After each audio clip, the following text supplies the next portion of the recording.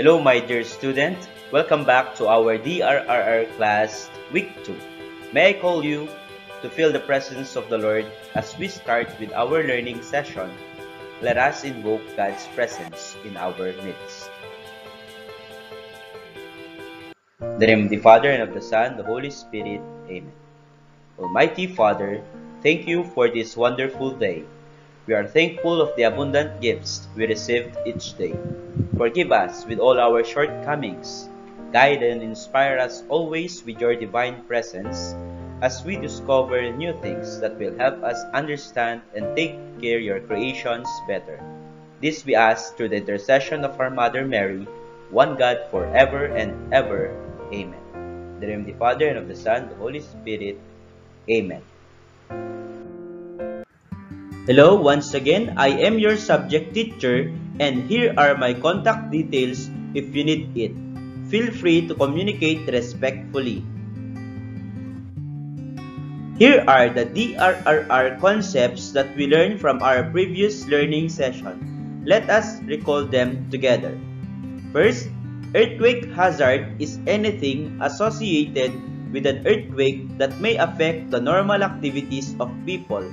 This includes surface faulting, ground shaking, landslide, liquefaction, tectonic deformation, tsunamis, and sites. Taking part in preventing and mitigating the effects of an earthquake should be everyone's concern. The Manila Trench has the capacity to move or trigger a tsunami about 3 to 5 meters high. Knowing what to do before, during, and after an earthquake could save lives. And a 72-hour survival kit is necessary in case of a disaster. Are there questions? Feel free to clarify during our synchronous meeting. The Philippines is located within the Pacific Ring of Fire. The oceanic Philippine Sea Plate is subducting underneath the Philippine Mobile Belt along the Philippine Trench to the east. Philippine volcanoes are also one of the most costly and deadly volcanoes in the world. Let us explore more about this information as we learn other geological hazards that affect our country. For today's learning session, here are our learning objectives. At the end of the lesson, you should be able to discuss the different geological hazards, analyze the causes of geological hazards, recognize signs of impending geological hazards, interpret geological maps, and apply mitigation strategies to prevent loss of lives and properties. A geologic hazard is one of several types of adverse geologic conditions capable of causing damage or loss of property and life. Geological natural hazards such as earthquakes and volcanic eruptions are triggered by activities taking place in the Earth's interior. Now, let us learn about geological hazards. Geological hazard is an extreme natural event in the crust of the earth that pose a threat to life and property. For example, earthquakes, volcanic eruptions, tsunamis, tidal waves, and landslides. Geologic hazards such as earthquakes, the landslides they induce, and volcanic eruptions are concentrated in the Pacific Ring of Fire and the seismic sea waves called tsunamis most commonly originate from earthquake shocks there as well. There are four types of geological hazards. We have earthquakes, flooding, volcanic eruption, and landslides. Let us learn more about this. First, earthquake. Earthquake is the result of a sudden release of stored energy in the Earth's crust that creates seismic waves. At the Earth's surface, earthquakes may manifest themselves by a shaking or displacement of the ground. Sometimes, they cause tsunamis, which may lead to loss of life and destruction of property. Here are some types of earthquakes. We have tectonic, volcanic, explosion, and collapse.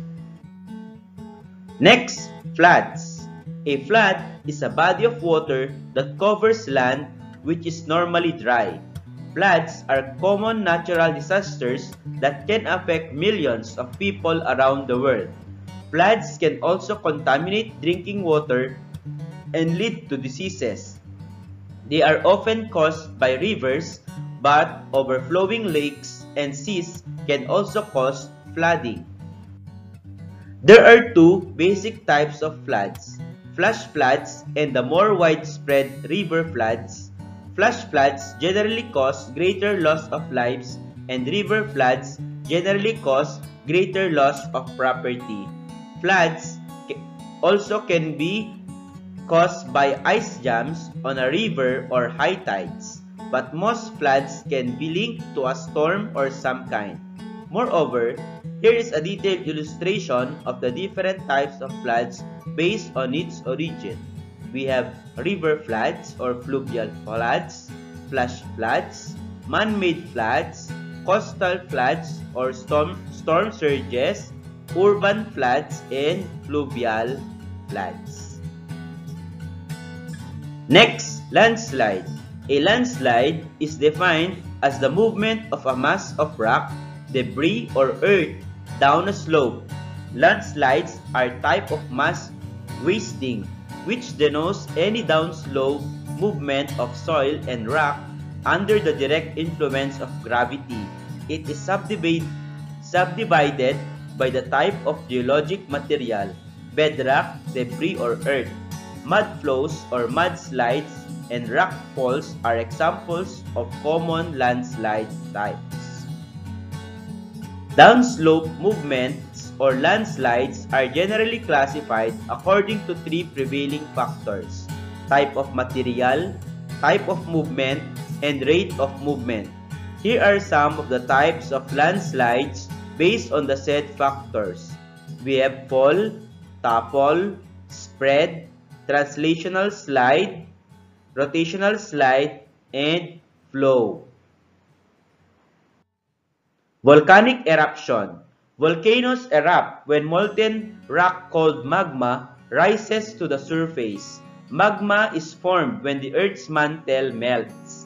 Another way an eruption happens is when water underneath the surface interacts with hot magma and creates steam. This can build up enough pressure to cause an explosion. Volcanoes bring about hazards that differ for each volcano. Volcanic events such as a lava flow, ash fall, pyroclastic flow, and lahar are just some of the hazards due to volcanoes. Here are the different types of volcanoes based on their explosion. We have Icelandic, Hawaiian, Strombolian, Vulcanian, Plinian, and Pelian.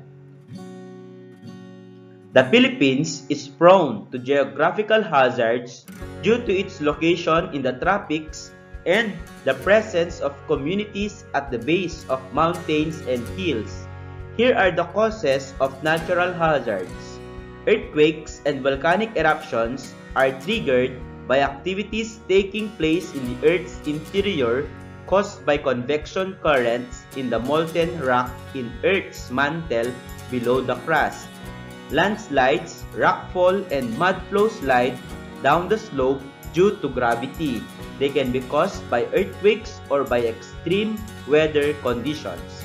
Lastly, meteorological natural hazards are weather-related hazards such as heat, drought, forest fires, storms, floods, high water, or heavy rain.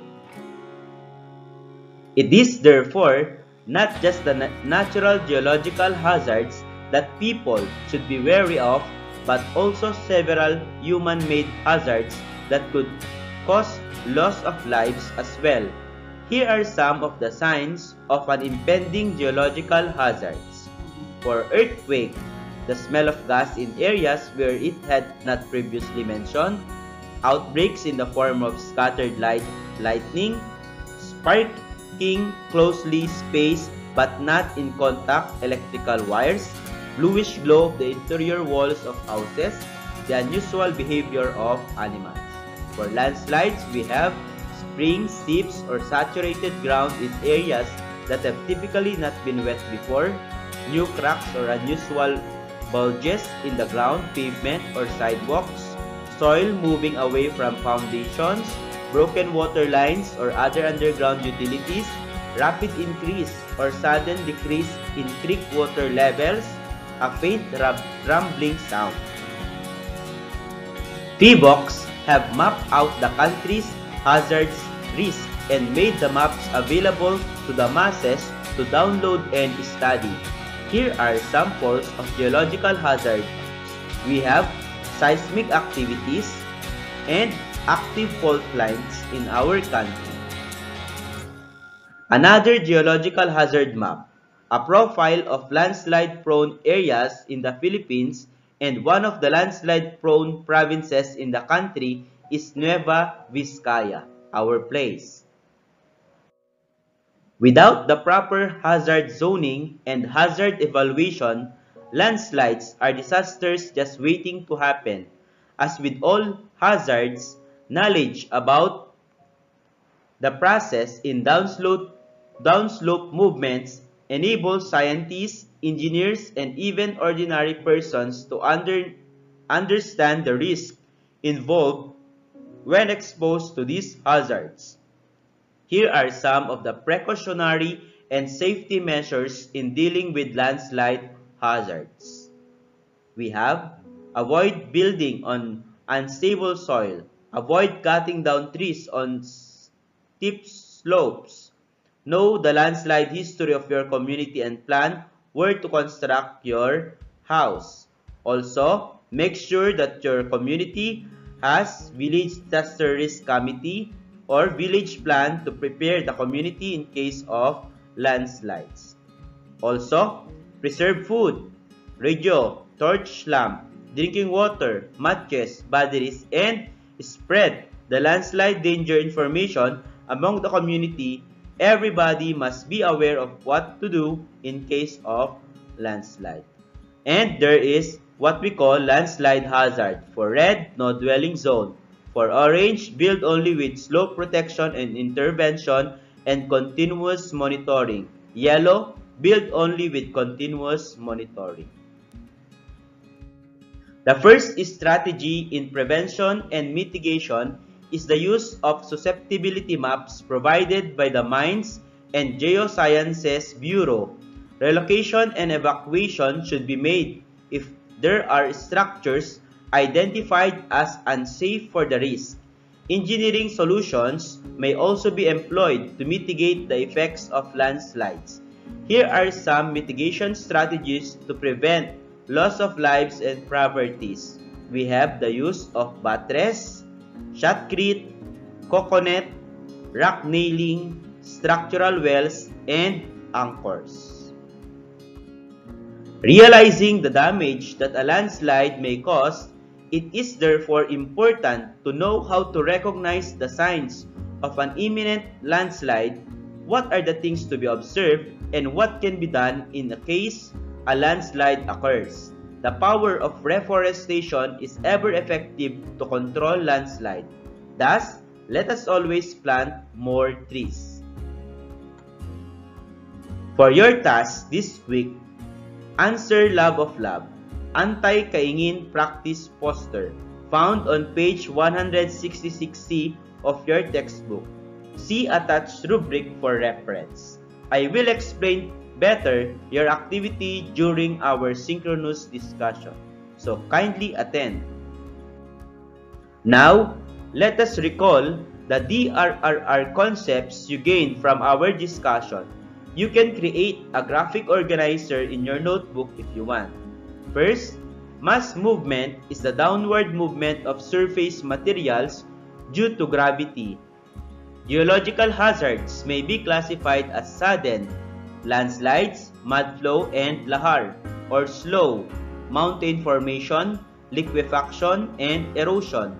human-made disasters occur because of irresponsible actions against nature.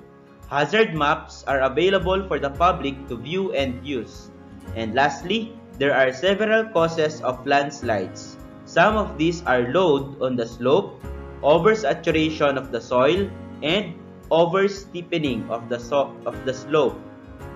If you have any questions, feel free to clarify during our online meeting. Let us get to know one influential Filipino in the field of DRRR. He is Dr. Raimundo Santiago Punong Bayan, he was the former director of the Philippine Institute of Volcanology and Seismology or PHIVOLCS. He served from 1983 to 2002.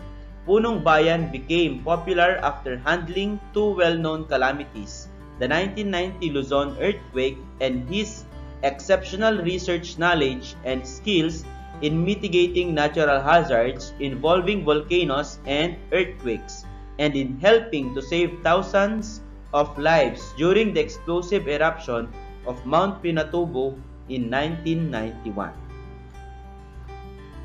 Hello once again, as we continue to learn in this new normal, let us be inspired with this Bible verse saying, Anxiety weighs down the heart, but a kind word cheers it up from Proverbs chapter 12 verse 25.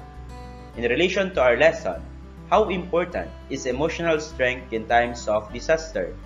You can put your insights in the attendance check of your SMU LMS account. Let us now have our closing prayer. In the name of the Father, and of the Son, the Holy Spirit. Amen. Thank you, Lord, for your presence with us this day. As we depart from this space now, we ask you to bless us throughout the remainder of the day do not let the learning conversations of this gathering die, but instead, may they continue to ruminate within us and bear fruit in our learning encounter throughout the year until we find ourselves together again. We ask this in the name of Jesus and in the power of the Holy Spirit. Amen. In the name of the Father and of the Son, the Holy Spirit. Amen. For the mode of submission of your outputs, you can communicate with me through our FB Messenger or our class GCAP. Submit your academic requirements in the SMU LMS on time. Feel free to keep in touch always. May Mary, our Mother and Patroness, inspire you always. God bless and keep safe always. See you in our synchronous meeting. Goodbye.